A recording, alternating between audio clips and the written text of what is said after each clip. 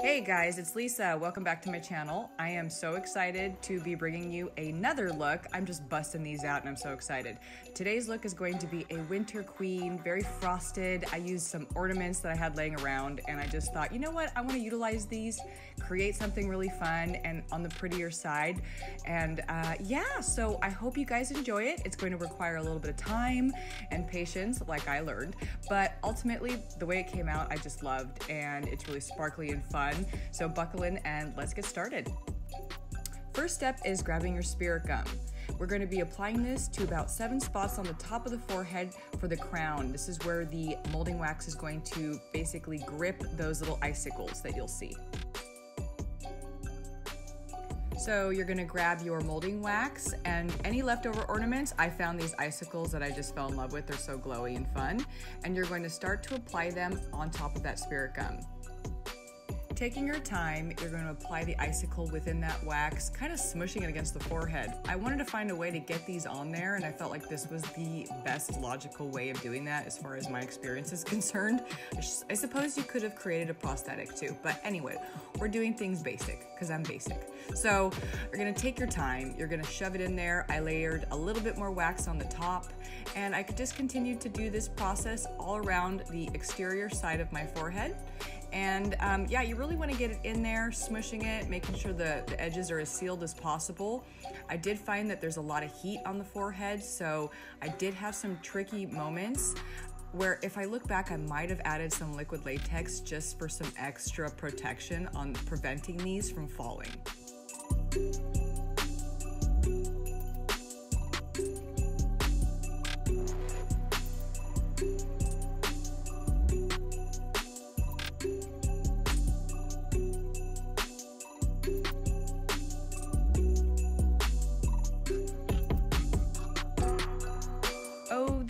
Me being excited because it's actually working.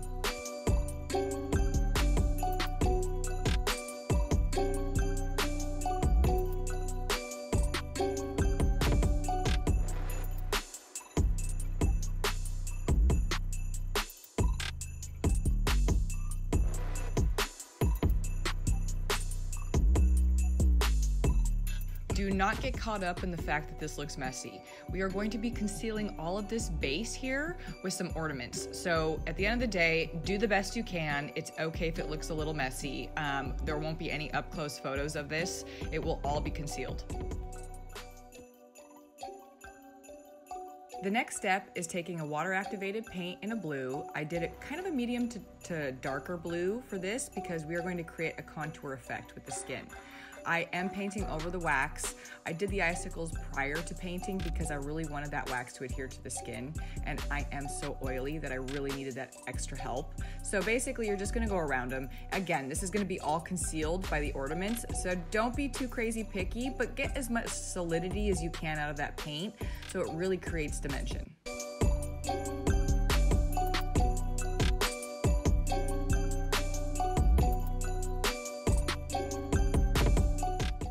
Next step is taking a water activated paint in a light blue and starting in the center of the face, kind of bringing it out. You're gonna treat this like you would maybe a lighter foundation when you're contouring.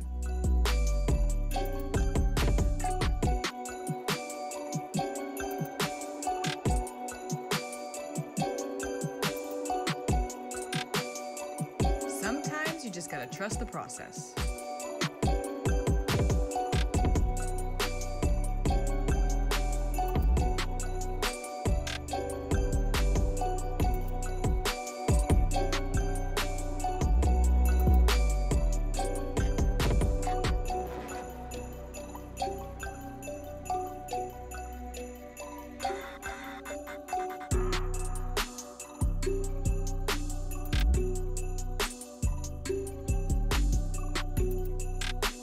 Picking up that clown white, uh, I use Mehron's, and I love to just kind of create a highlight with this. So again, we're gonna bring even more dimension in, taking a beauty sponge, just going over the points where you wanna really bring up the uh, dimension, usually it's where you would place a lighter concealer. So you're gonna go under the eyes, you're gonna go on the bridge of the nose, you're gonna go on the center of the forehead, chin, and then I even like to use it like I would a uh, setting powder and just really highlight under the cheekbones. Taking your time, you don't wanna break up the paint, um, but you definitely wanna blend, so you wanna take your time and just kind of work that into the paint. I also did apply this on my eyelids because I needed a primer for my eyeshadow you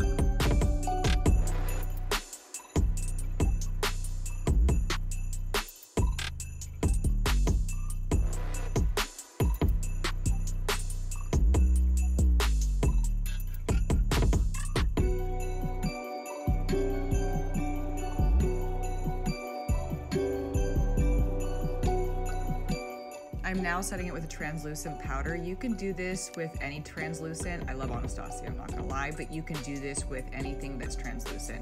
You just really don't wanna add more color to it or any skin tone to it. You just wanna keep it kind of white. Even if you had a white setting powder, that would work really well as well.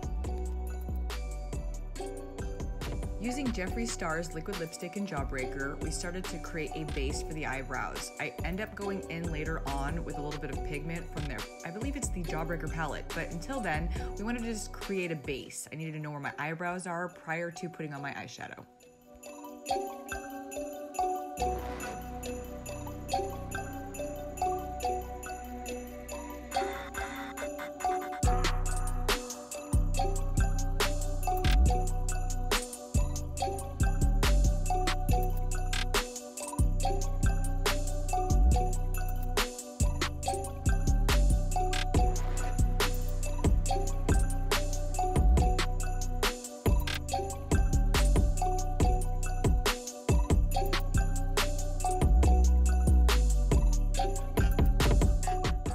Next, we're going to be taking Jeffree Star's Jawbreaker palette and starting the eyeshadow look, starting with the lighter blue and then layering on the medium blue.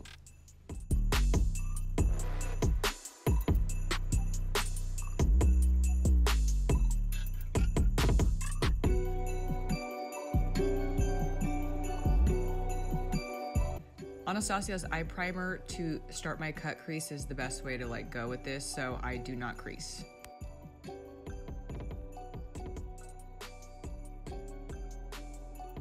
Next, taking Anastasia's Frost Pigment, we're going to just pack that on the lid. I wanted something really vibrant, and I will be using this throughout my look.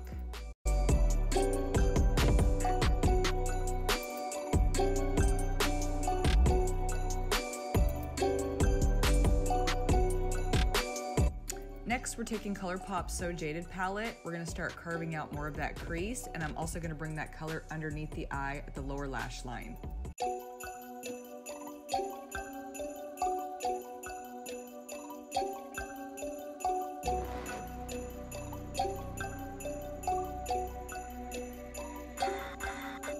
Also pulling that down just to make like a little bit of a messy effect under the eye. I felt like it was kind of melting. And then I used that same color from ColourPop and I started carving out my contour, cheekbones, under the chin, just kind of giving you that like really chiseled effect.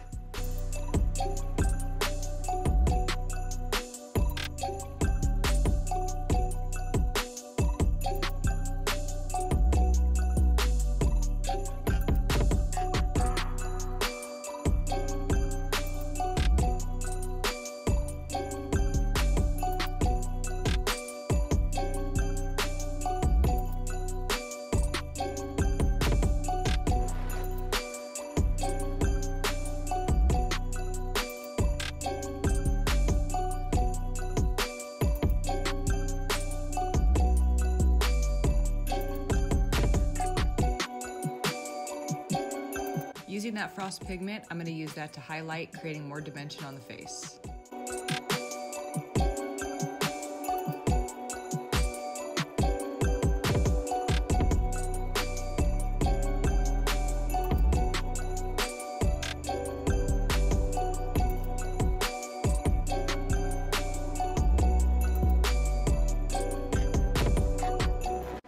Now time for the ornaments. I'm gonna take these, cut them in half. These are really cheap ones I found at like the 99 cent store and you're gonna start placing them on. I did it in a layered effect, so starting with the base, like the back.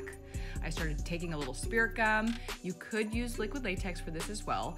Um, yeah, and just kind of set it on there. Eventually it dried really well and they were really in place. I loved it.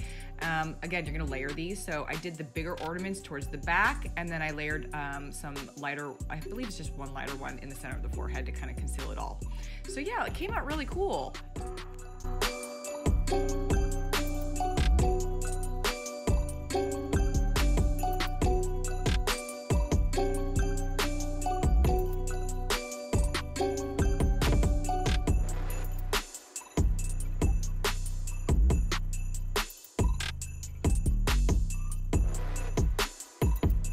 Taking Anastasia's glitter adhesive, I'm gonna start layering some glitter under my eyes. That's also another one of her glitters.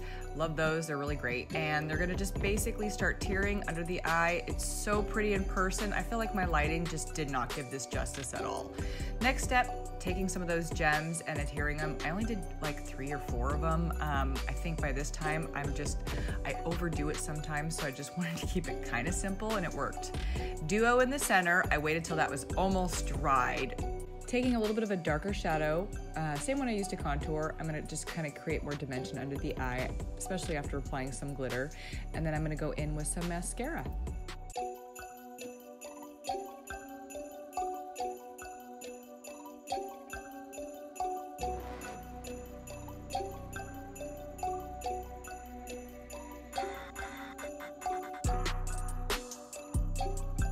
I wanted a little bit more smokiness, so I took NYX's Black Eye Pencil and wet in my waterline.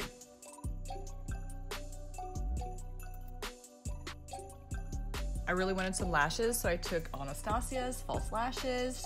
She just came out with a rad new line. So I got these um, from her and they are awesome. These are kind of like a softer version and they're beautiful finishing up with the gems. So I am now applying the center gem. It was a little bit bigger one, so I needed to really wait for that adhesive to dry. The chin, and then I'm just gonna press everything just because I really wanna make sure it stays on. I am so oily. That is how oily I am. So yeah, we're gonna just make sure all those are stuck. And yay, I really love it. Now we are on to the body picking up a combo of your light blue and your medium blue, I'm kind of just going in a gradient scale, starting with some of that medium blue, which is basically just blue under the Mehron palette, and then going in with some lighter blue, blending them as I get to the center, and going to be covering basically all the way down to my elbows.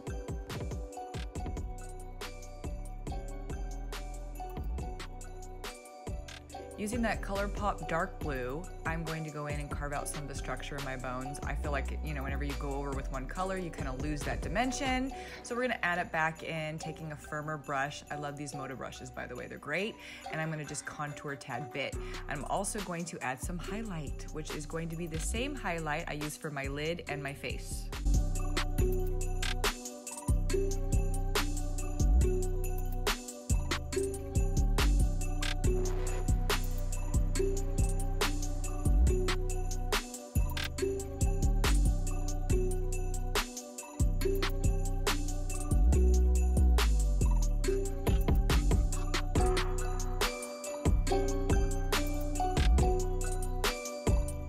Adding a little glitter, and then finishing up my lips with Jeffree Star's, um, I believe it's the Jawbreaker color. Super pretty, went really well with this look.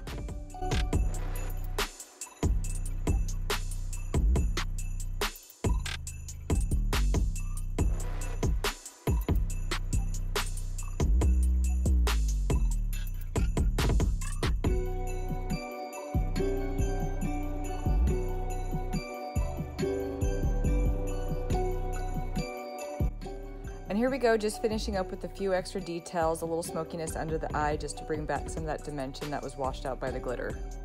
I am officially all done. I hope you really enjoyed it. I had a great time doing this look. As always, with every look that I do, it's on the spot and you never know what to expect. And with this one, I just had to trust the process. I hope that you guys learn that at the end of the day, all that matters is that you have a good time doing your art. And if you'd like to subscribe and like this video, that would mean the world to me. And if you want to follow me on Instagram, I am at Lisa Marie underscore Murphy. All right, you guys, till the next time, I'll see you later.